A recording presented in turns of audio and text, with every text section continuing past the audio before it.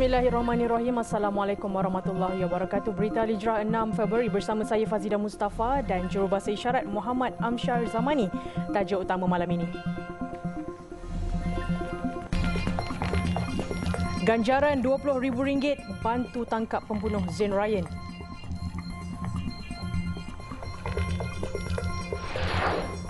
Juga guru besar komplot buat tuntutan palsu 1.3 juta ringgit.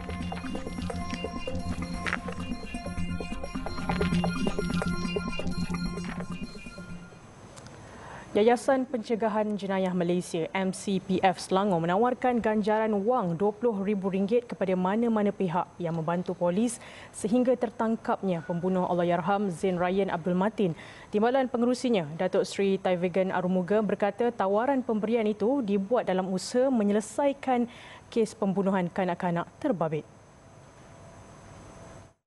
Uh, berkaitan dengan kes itu, uh, Selangor MCPF ataupun Yayasan Pencegahan Jenayah uh, Negeri Selangor.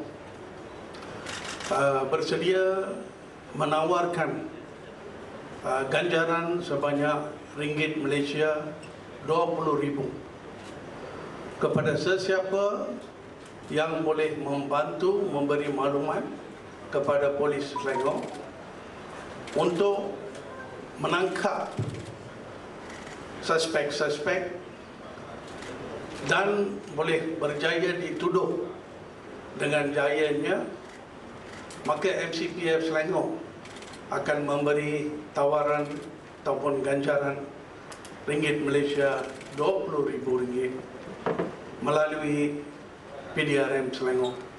Tawaran ini kepada sesiapa yang boleh membantu memberi maklumat kepada polis Selangor menangkap suspek-suspek sehingga berjaya dituduh. Sebelum ini, mayat Zain Ryan ditemui di saliran berdekatan takungan air 200 meter dari rumahnya di apartmen Idaman, Daman Saradamai, Petaling Jaya, kira-kira pukul 10 malam pada 6 Disember 2023. Kes kematian kanak-kanak itu diklasifikasikan semula sebagai bunuh selepas bedah siasat menemui kesan kecederaan pada leher dan badan mangsa. Sebuah kontena yang dijadikan makmal mini memproses dadah disyaki jenis metafetamin digempur polis dan pihak berkuasa berjaya menangkap dua lelaki termasuk seorang warga asing.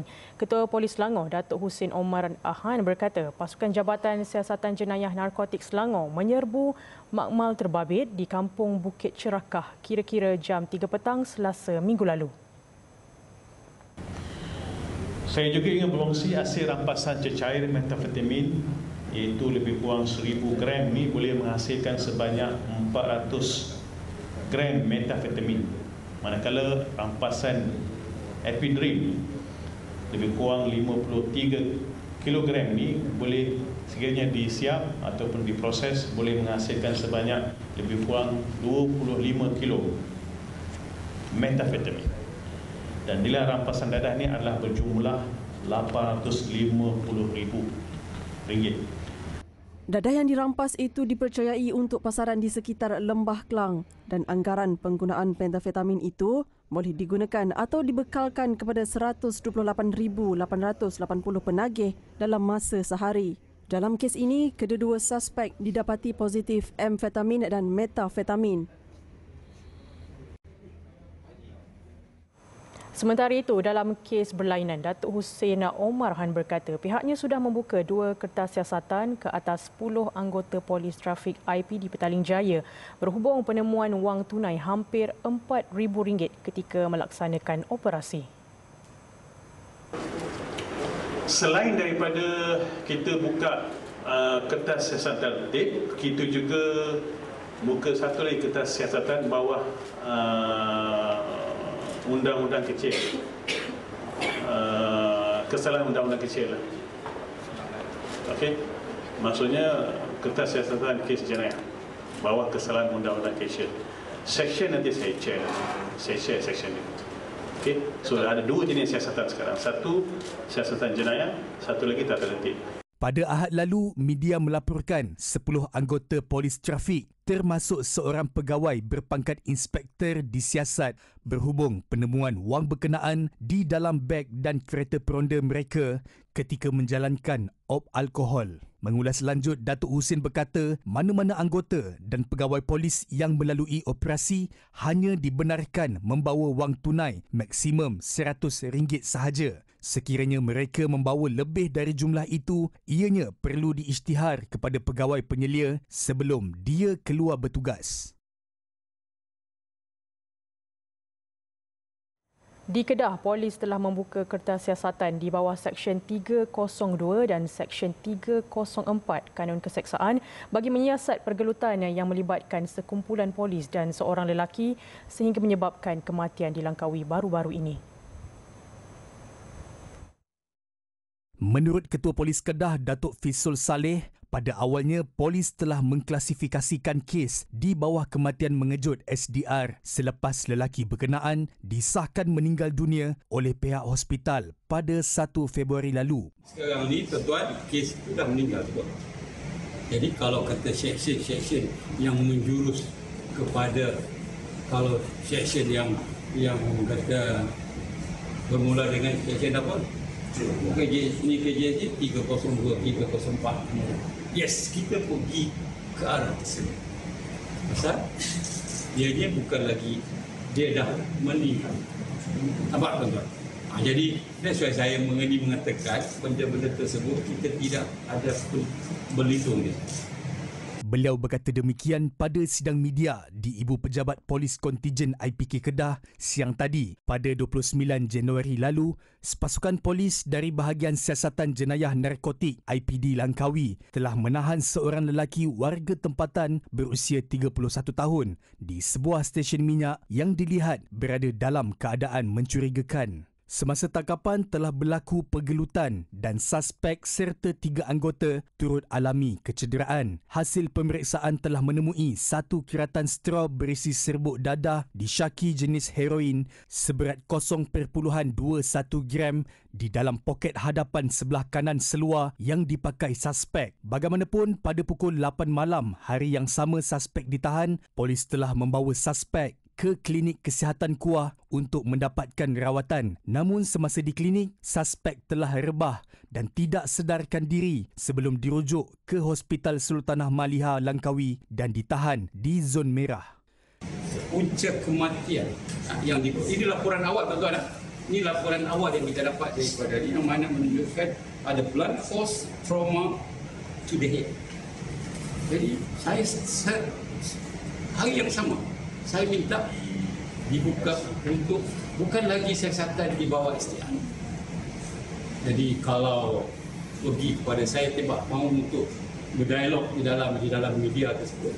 Kerana peringkat pertama dan untuk makluman tuan-tuan hari yang sama juga STR yang sepatutnya yang dibuka sebelum ini oleh IPD Langkawi kami telah saya telah arahkan supaya pegawai penyiasat daripada IPK untuk ambil alih supaya tidak berlaku apa-apa bias di sekolah. Sehingga kini, seramai 13 saksi termasuk pegawai dan anggota terlibat telah diambil keterangan. Semalam, keluarga lelaki yang maut itu mahu menuntut pembelaan di atas kematian mangsa dan meminta pihak polis mengemukakan penjelasan berhubung kejadian yang tular di media sosial itu.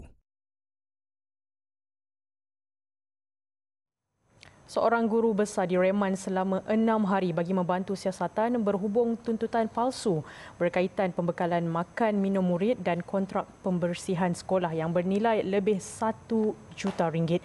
Manakala uh, dua lagi individu iaitu pengurus dan penyelia syarikat turut direman selama dua hari sehingga esok bagi siasatan lanjut kes yang sama. Perintah reman terhadap guru besar wanita berusia 46 tahun dan dua lagi individu berusia 34 tahun itu dikeluarkan penolong kanan pendaftar Yohanis Muhammad Roslan di Mahkamah Magistrate Kuala Terengganu. Ia bagi membolehkan siasatan lanjut mengikut Seksyen 18 Akta Suruhanjaya Pencegahan Rasuah Malaysia SPRM 2009. Terdahulu kesemua mereka ditahan kira-kira jam 11 pagi semalam ketika hadir memberikan keterangan di pejabat SPRM Negeri Terengganu. Mereka ditahan atas dakwaan berkomplot membuat tuntutan palsu bagi pembekalan makan minum murid di asrama sebuah sekolah rendah di negeri ini membabitkan kontrak pembekalan bernilai 1.3 juta ringgit. Kesemua suspek juga dikatakan berkomplot dalam mengemukakan tuntutan palsu bermula 2022 sehingga 2023 melibatkan tuntutan ke atas 100 orang murid sedangkan jumlah murid sebenar hanyalah 35 orang. Selain itu, SPRM turut menjalankan siasatan terhadap tuntutan palsu melibatkan kontrak pembersihan berjumlah RM35,000 di sekolah yang sama.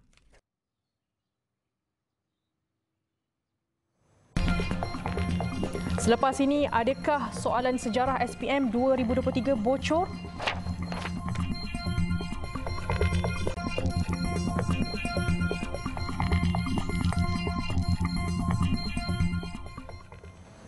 Alhamdulillah bertemu kembali.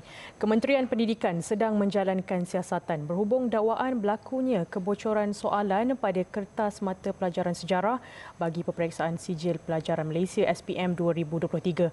Bagaimanapun menterinya Fadlina Sidik berkata SOP sedia ada sudah mencukupi bagi mengelakkan isu kebocoran kertas peperiksaan berlaku soal SPM ini adalah peperiksaan nasional high stake exam uh, dan dari segi integriti keselamatan dan kawalan kita sangat ketat. Jadi apa saja lapor dakwaan tentang kebocoran ini kita akan siasat.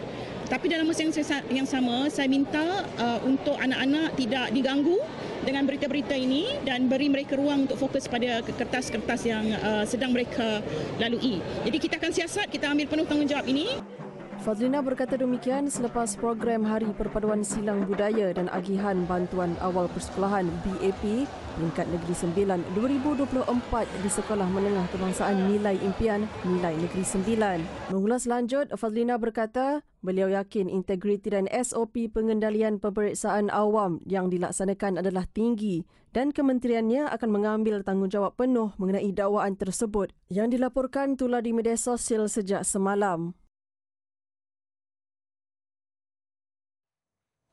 Dalam isu berlainan, Fadlina berkata pihaknya akan bekerjasama dengan Kementerian Kesihatan bagi mengekang penjualan dan penggunaan penyedut hidung atau lebih dikenali sebagai energy stick dalam kalangan pelajar sekolah. Pihaknya serius melakukan pemantauan di peringkat sekolah bagi membendung isu tersebut yang dilihat semakin berleluasa. KKM telah pun ambil uh, tindakan. Jadi kita sokong semua tindakan oleh KKM. Dalam masa yang sama saya minta ibu bapa uh, sekolah uh, untuk ambil perhatian berkaitan dengan uh, isu ini uh, supaya anak-anak kita tidak terjebaklah dengan uh, pengambilan agensi. Tapi KKM telah ambil tindakan dan kita sokong uh, apa saja tindakan yang dibuat oleh KKM. Terdahulu Public Health Malaysia PHM telah memuat naik hantaran di laman sosialnya dengan menyiapkan maklumat kepada masyarakat untuk berhati-hati dengan produk dikenali sebagai energy stick yang dikesan popular dalam kalangan pelajar sekolah. Jelas PHM jika diperhatikan pengambilannya sama seperti dadah iaitu kaedah melalui hidung atau snorting dan secara psikologinya sangat negatif kerana menggalakkan pengguna untuk mencuba bahan lain. Pengambilan bahan itu kononnya dapat memberi tenaga dan kesegaran kepada pengguna. Produk itu giat dipromosikan menerusi media sosial serta boleh diperolehi dengan harga serendah RM2.50 hingga RM10.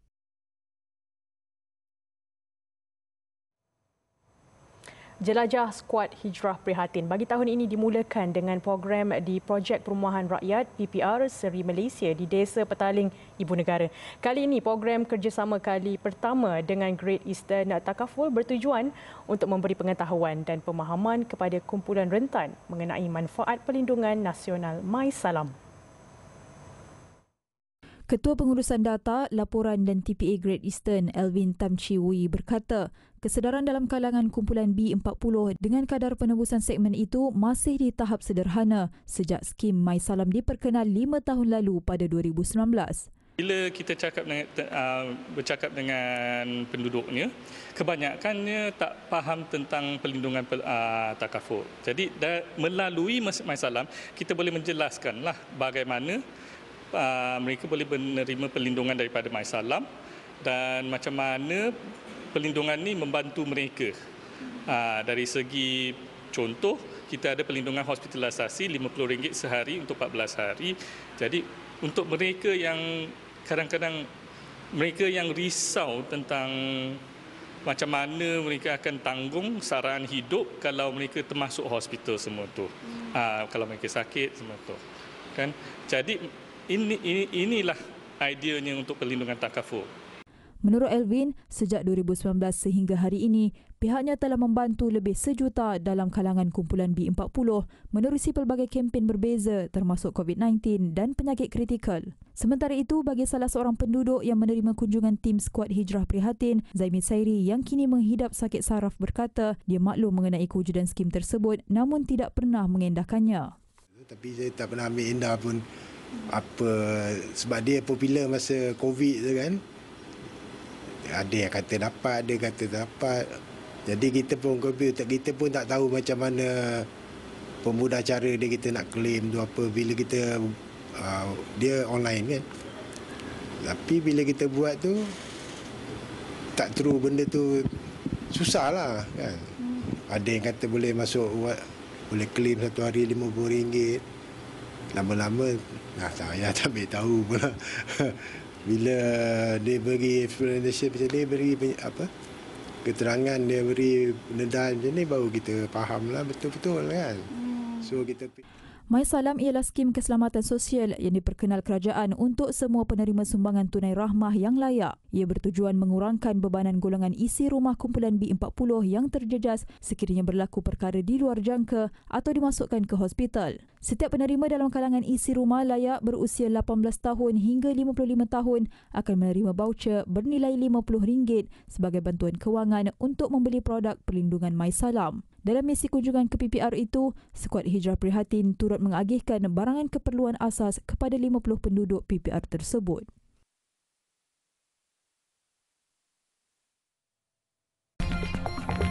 Jualan McDonald merudum teruk.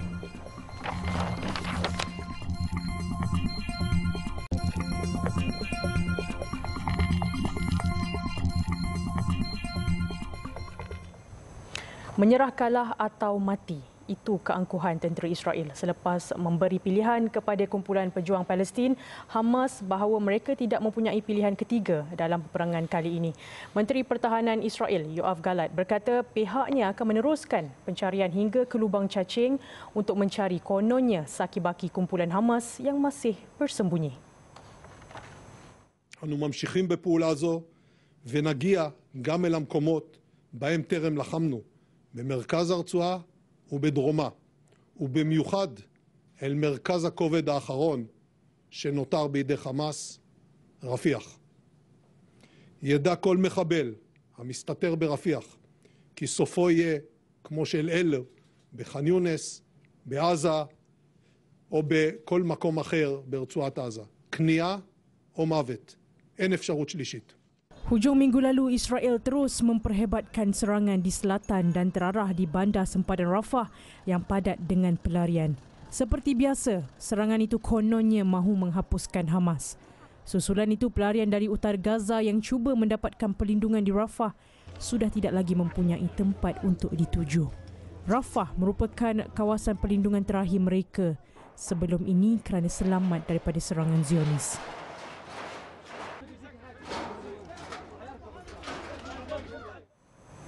Dalam pada itu, pengasas Parti Inisiatif Nasional Palestin, Mustafa Barghouti memaklumkan serangan tentera Israel ke atas Rafah akan menyebabkan berlakunya genosid yang lebih teruk. Jelasnya, serangan berterusan di Rafah akan menyebabkan lebih 1.5 juta rakyat Palestin yang berlindung di sana maut di bedil Zionis. Sehubungan itu, beliau menggesa agar semua masyarakat antarabangsa untuk campur tangan dan menghalang serangan yang dirancang Israel ke atas zon selamat untuk Palestin iaitu di Rafah. Jelasnya, serangan bertubi-tubi Zionis di selatan Gaza itu hanya akan membuatkan dunia menyaksikan satu pembunuhan beramai-ramai yang sangat dahsyat dan tidak pernah berlaku dalam sejarah di Palestin. Mustafa menyuarakan gesaan tersebut selepas Menteri Pertahanan Israel, Yoav Galat mengumumkan bahawa Rafah merupakan sasaran mereka yang seterusnya dalam meneruskan operasi ketenteraan untuk menghapuskan Hamas.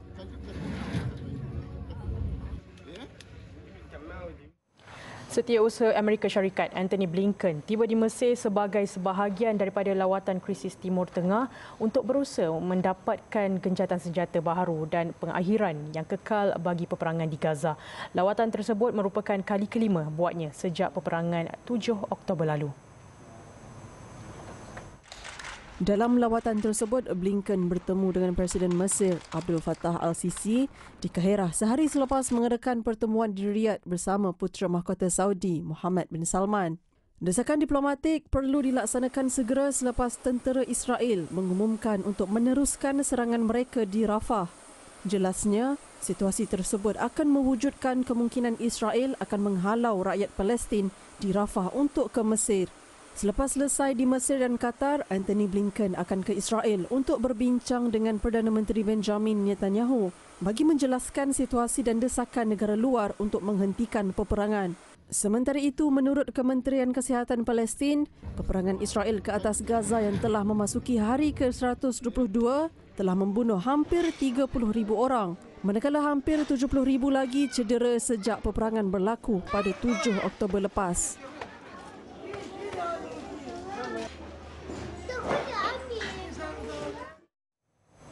Sementara itu, syarikat gergasi makanan segera McDonald menyalahkan Israel susulan peperangan di Gaza.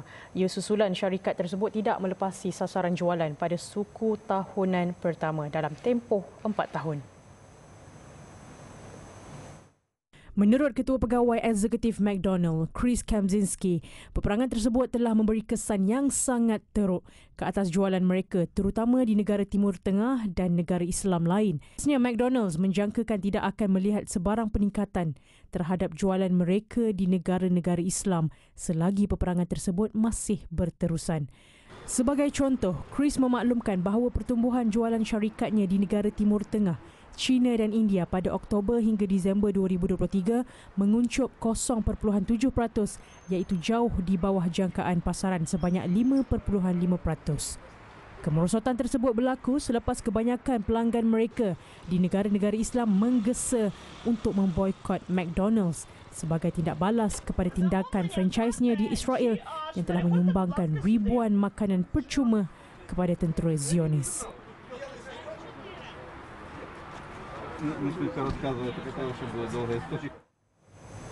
Laporan itu tadi menutup berita Al-Hijrah untuk malam ini. Saya Fazida Mustafa dan jurubahasa isyarat Muhammad Amshar Zamani. Satukan ummah dengan ilmu bagi memperkasa Malaysia Madani. Assalamualaikum dan selamat malam.